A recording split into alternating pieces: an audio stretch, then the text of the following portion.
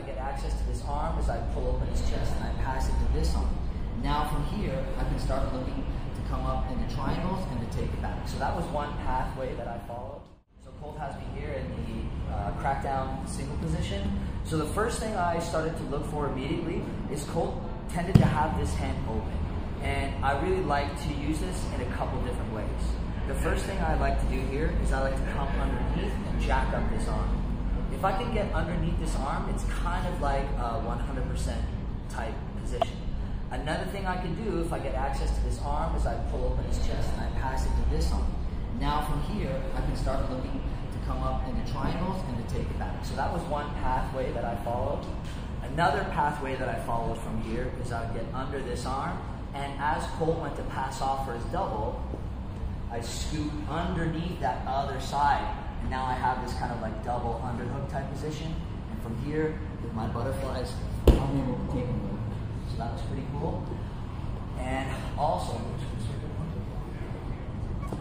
also from here, when I get under, and now I, I play over here. So I get underhook this arm, and I overhook this near side arm. And here I've been, I'm looking to stay tight. When I'm tight, uh, I can look to put my butterflies in, and I just look to take Colt where he doesn't have a post. So for example, over my left shoulder, if I put my butterfly hook in, and I start to turn belly up here, Colt doesn't have a post over here. And very often, me and Colt had battles from here, right, where I keep this uh, underhook, and I keep this overhook. Here, I'll look to pass, and look to come to my Tikimura position. Um, then, so that's, oh yeah, then there's the guillotines as well. So from here, right, I'm jacking this up, jacking this up. I'm trying to catch the ankle as Colt also mentioned. I'm jacking this up, jacking this up. Let's say he sprawls the leg back. When he sprawls the leg back, I can look to come in and instead of going under here, I can fish for the guillotine. Also, if I'm fishing for the guillotine, here I'm staying nice and tight, but let's say uh, he brings the hand in to start the hand fight here, then I can go back to here. So I can play back and forth between these two grips pretty much uh, up when I, when, I, when I need to. So that's uh, pretty, pretty useful. So yeah, so that's kind of the three things that I was looking for there. So taking Colt where he has no post, uh, getting under that far side arm, going Kimuras or taking the back, and then switching for guillotines. So now, right, I, I put my shoulder in the hip pocket here. Now, what I look to do is a little bit different.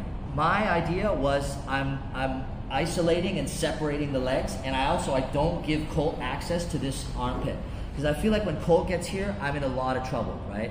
So I kept that nice and hidden here. Now, when Colt uses his far foot to start to build up, right, he starts to build up with that far foot, I look to come through here and I look to find his ankle. If I can attach to this ankle over here, now from here I can look to build up and start to jump around the corner and do some kind of like crank shit, you know? so that worked, that worked pretty well. Um, I think that's not, not terrible. Also, I like to use my butterflies a lot here. So uh, like shin pins and butterflies. So Colt was really good at this. He, he has this like nice shin ride from here.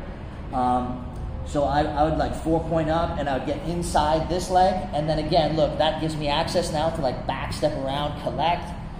And then again here I can shelf. Or I could also look to come this way pop my head in here. Yeah, so that's kind of what I tried to do when I was in that position. And, uh, you know, it's cool just to experiment and try different stuff. And it's cool to see like the jujitsu versus the wrestling perspective and see like what our different goals are. And, and like, for example, that hand post in wrestling, maybe it's not a big deal, right? There's no guillotines and stuff. But in jiu-jitsu, I feel like if they get under that far shoulder, man, it's fucking, it's tricky. Cool, been a pleasure. Thank you. Thank you.